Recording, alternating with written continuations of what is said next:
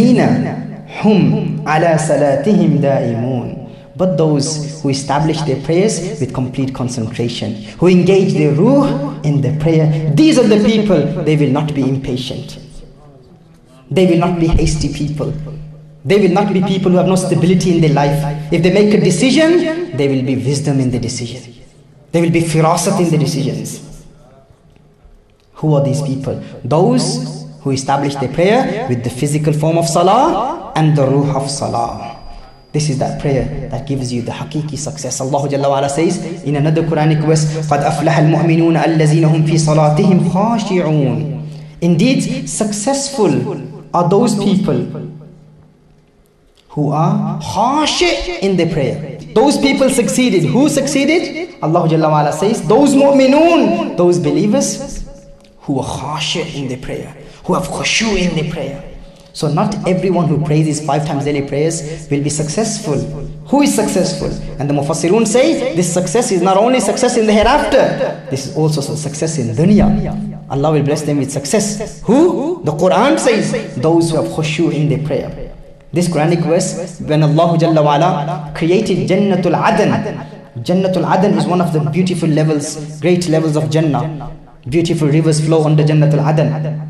When Allah created Jannatul Adan, Allah addressed Jannatul Adan and Allah said, Oh Jannatul Adan, speak. And this is what Jannatul Adan said thrice, three times. قد أفلح المؤمنون الذين هم في صلاتهم خاشعون قد أفلح المؤمنون الذين هم في صلاتهم خاشعون قد أفلح المؤمنون الذين هم في صلاتهم خاشعون Indeed, prosperity is for those who in their prayers are khashi, who engage their ruh in the prayer and fear Allah in the prayers. This was said three times by Jannatul Adan, by one of the great maqams and levels of Jannah. So brothers and sisters in Islam, these were some Quranic verses and a hadith of the Prophet wasallam about the significance, about the importance of engaging your ruh in the prayer, of engaging your ruh in your salah. Sayyidina Shaykh Shihabuddin Suhrawardi rahimahullah talks about the linguistic meaning of salah. He says this word salah, sad, lam, the word salah, salah, yusalli in bab tafid. He says if you look at the root letters of this word, it gives the meaning of fire. Salah denotes the meaning of fire. He says the reason why it's called fire, salah, one of the linguistic meanings of salah is fire. He says that if if you place a a curled stick, if you place it, if you put it close to fire, it will make it straight. It will straighten a curled, a bent stick. If you place it close to the fire, the heat, the intensity of the fire will straighten it. He says when a when a believer has a rusty heart, a heart full of filth, and he starts establishing the prayer, the fire of the prayer, meaning the nur of the prayer will purify his heart. You bring a believer close to the prayer. This is one of the meanings of Salah yusalli. The Arabs say Salla al-asa bin nar. That is one of the sayings of the Arabs. Salla al-asa bin nar. That the fire straightens a stick.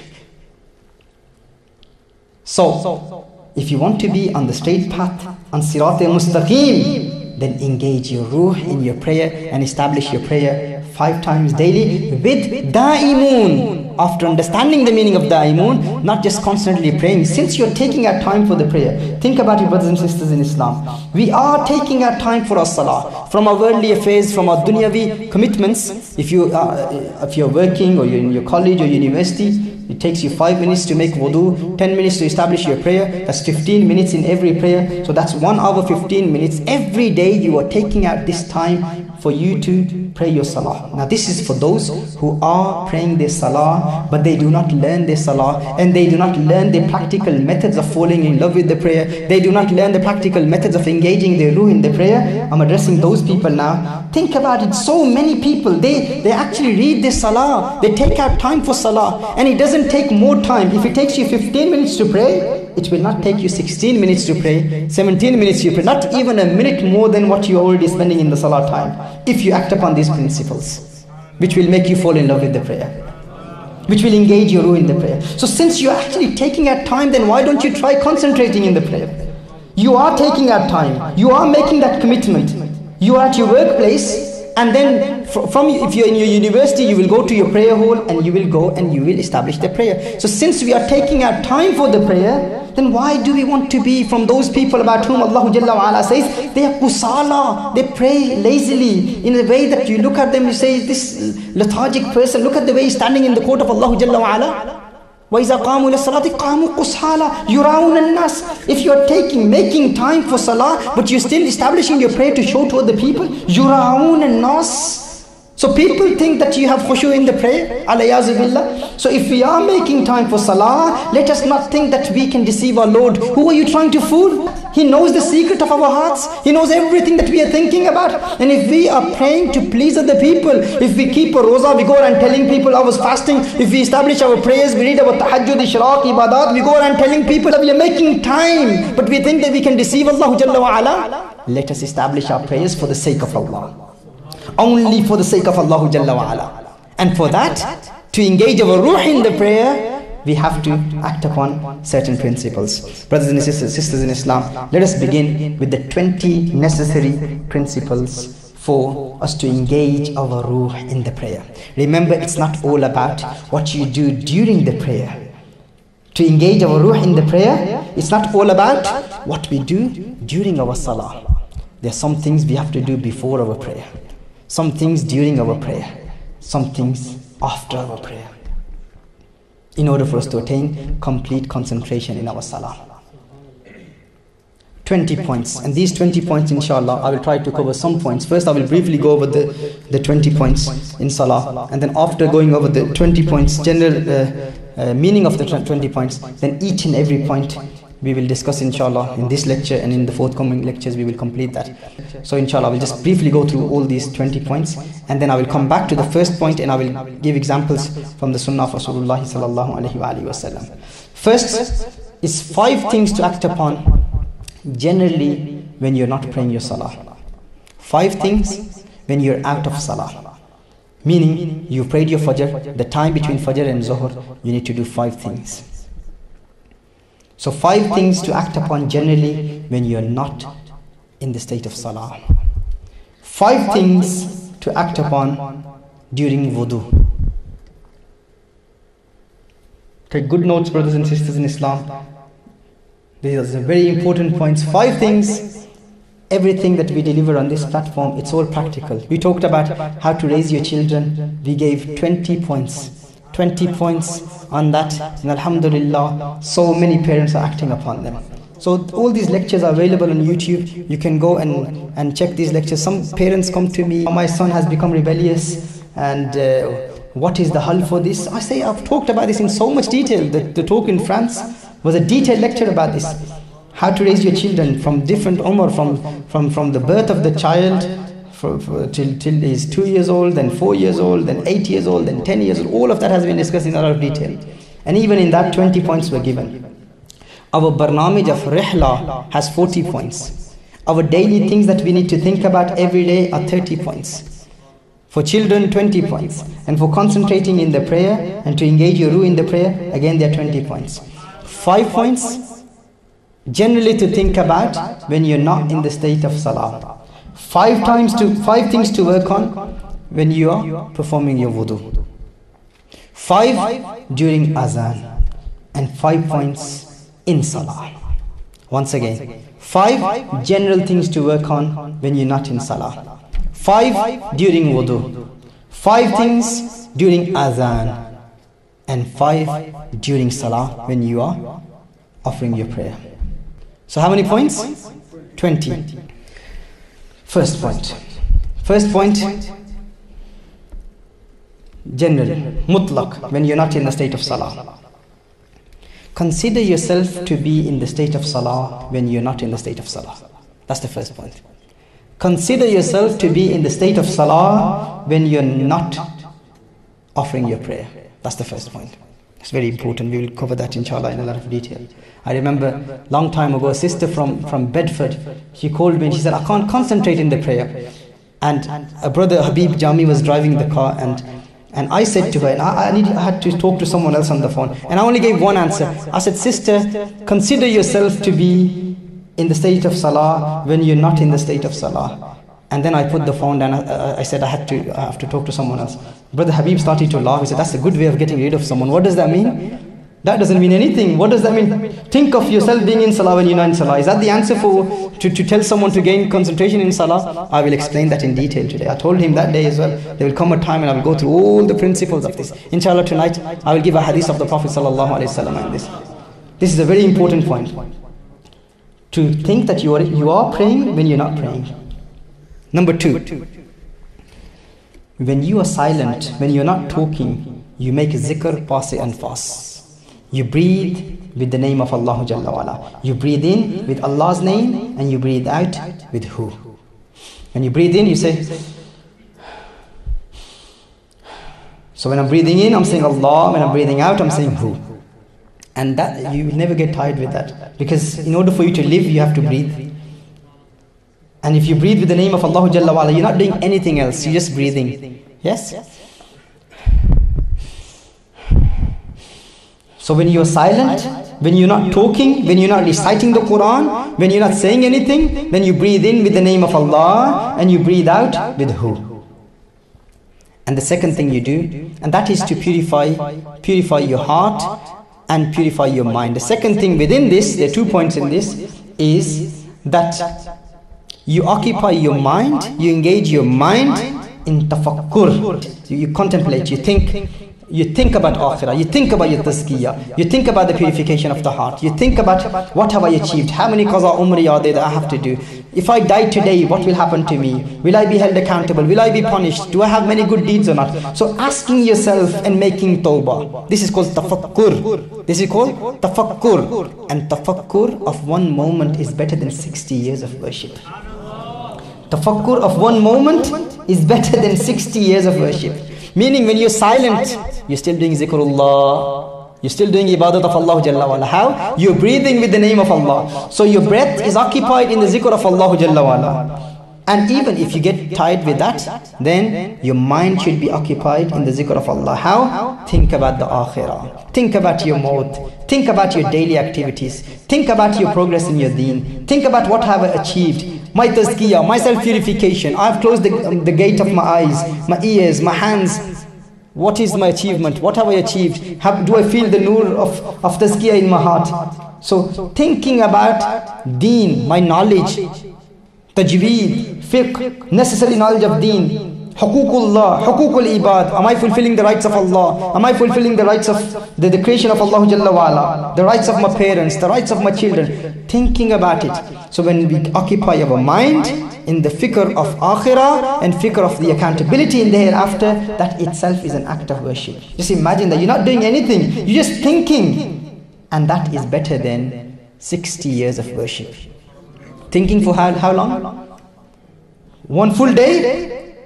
One hour? No, one moment of tafakkur is better than 60 years of worship.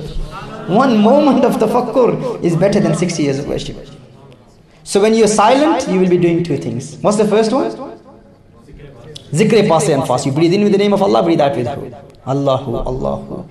And if you get tired of doing that, which you shouldn't do, you know, there comes a time when you will be sleeping People will be thinking that you're snoring, but you're saying Allahu, Allahu, Allahu. Huh? And this is when you have beautiful dreams. When you have adat, this takes you, zikr pas-e-anfas takes you into a beautiful world of dreams. Huh? You see so many spiritual awliya, anbiya, ziyarat of the malaika and the angels. If you make a habit of making zikr pas-e-anfas. And then before you go to sleep, you practice zikr pas-e-anfas also before you go to sleep. So this is when you're silent. When you're quiet, you make zikr pas-e-anfas.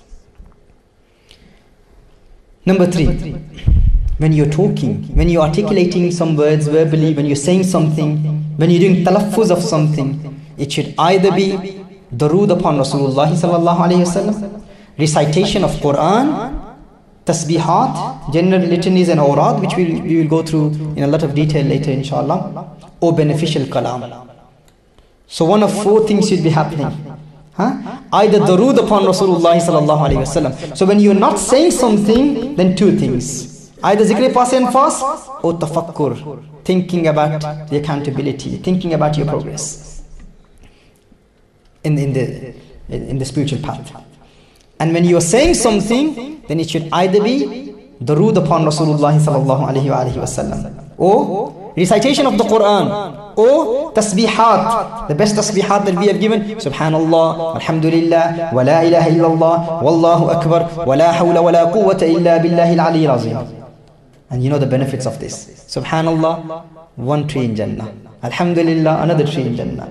Huh Another tree in Jannah, wa la ilaha illallah wallahu akbar. And all the fadail of wa la hawla wa la quwwata illa billahi al azim. Seven ahadiths were given in the previous Urdu talk about the importance of wa la hawla wa la quwwata illa billahi al azim. There are so many benefits. It is a treasure from the treasures of Jannah. This wird, this spiritual litany, ولا حول ولا قوة إلا بالله العلي العظيم. So all of this is in Subhanallah, walhamdulillah. ولا إله إلا الله والله أكبر ولا حول ولا قوة إلا بالله العلي العظيم all of these are in this so either darood upon Rasulullah الله عليه وسلم recitation of Quran tasbihat or mufid kalam before we talk we ask ourselves whatever I'm about to say will that benefit me in dunya or in the hereafter if the answer is yes then we will say it if the answer is no then we will remain silent so what are the four things? Darood upon Rasulullah sallallahu alayhi wasallam. Second thing, recitation of the Quran. Third, tasbihat. Fourth, beneficial speech. Before we talk, we ask ourselves, is this beneficial in dunya or akhirah? If it is not beneficial in dunya or akhirah, then we will not say it. Point number four, practice attaining khushu in the nafal prayers. Practice, do mashq of attaining khushu in the nafal prayers. Offer a lot of nafal prayers. Tahajjud, Ishraq, Chasht, Awabin, all of these nawafil and other extra additional nawafil. Make time for nafal prayers. And in these nafal prayers, one should work on the six general things to think about during salah. Imam Ghazali rahimahullah says, if one can force himself to attain concentration in nafal ibadat, the moment he will start his fard ibadah, he will automatically have con concentration. So you make yourself majboor in your nafal ibadah. So nafal ibadah is the training. You train yourself during nafal ibadah in attaining concentration. And Imam Ghazali rahimahullah says, if you make yourself majboor you force yourself to concentrate, you keep doing that in your nafal ibadah, then when you will offer your fard ibadah, your ruh will be engaged in the fard ibadah. Now, in nafal ibadah, six things which we have discussed in the first lecture, and again I will advise all the brothers and sisters present here, it's important that you watch that lecture, Metaphysics of Salah, part 1. And in that we, we discussed all of these points in a lot of detail. Briefly, I will go over these six points again in your nafal and again at the end we will we will mention this but i don't think we will have time to go over this in detail at the end next lecture inshallah we will talk about it in more detail in the light of quran and the sunnah of rasulullah sallallahu alaihi wasallam so six points so when you when you establish your nafal prayer during nafal ibadah and this is something that we must be doing in our fard ibadah also it is something to attain concentration in our fard ibadah. These six points are necessary. General things to think about during fard ibadah or nafal ibadah. And remember these general things, that's one point. That's one point. There's 19 more points. It's important. A lot of people think because in our little booklets that we have given in the, the spiritual development booklets, we have given these six points. And people think that these six points, that's it, it is, it is six points. And we have another 14 points. No, these six points, that's just one point which divides into six. What is that one point? What should you be thinking about generally in the prayer to attain concentration? So, this should be practiced in nafal. What is that point? The general things to think about during the prayer and in nafal, in the nafal ibadah, we will practice that. What's the first thing? If you can remind me. Those of you who were present in this in this talk, in the last talk, can you remind me what, what is the first point? Just you, only you know each other? Oh, two people, mashallah. There were hundreds of people in the last lecture. What's the first thing that we should be thinking about? General things during salah to attain concentration. Huh? Translation of Salah. So we should, we must memorize the translation of Salah. First thing to think about, Tarjuma of Salah, translation of Salah. We must know the translation of salah. I told you if you go to a, some famous person in dunya and you want to please that person and he speaks a, a foreign language, a different language which you do not speak, and, and, and you have his name and his titles written on that on a piece of paper and you are reading it, or you have memorized his, his greatness or his big titles, you have memorized them, but you do not know what you are saying. And if you're going to that king or some, some prime minister or some famous person or some famous celebrity and you want to please that person and you are praising him in a language which you do not understand yourself, would you please that person? If that person was to know that this person is praising me, but he doesn't even know what he's saying, would he be pleased? No. Imagine being in the court of Allah. Imagine being in the presence of the creator of the heavens and the earth. And we have been praying for 40 years and we do not know what at-tahiyyatu means. We have been praying for 30 years but we do not know the meaning of subhanakallahumma bihamdika. We are praising Allah. We are establishing our prayer and praising Allah. We want to please Allah. But we do not even know what we are saying. What kind of salah is that? I'm not saying that salah is not established. I'm not saying that the salah is not performed. I'm not saying that you have to do qaza for that prayer. You have fulfilled the obligatory ahkam of salah. You are communicating with the Lord of the heavens and the earth. You are talking to Allah Jalla wa'ala. This is your secret conversation with Allah Jalla wa'ala. But you do not even know what you are saying.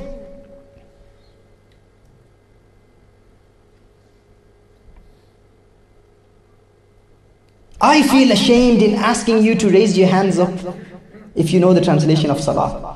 Hmm? I remember now there will be a lot of people who will raise their hands up, but I remember in the past there was hardly anyone. How, how, how long have you been praying for? 20 years, never missed a prayer, umri. Do you know the translation of Salah? No, I don't know what I'm saying to my Lord. I have seen reverts recently become Muslims and they have learned the translation of Salah. They know the Salah in Arabic and in English. But we are inborn Muslims, Muslims born in a, in a Muslim family, but we do not know what we are saying in our Salah.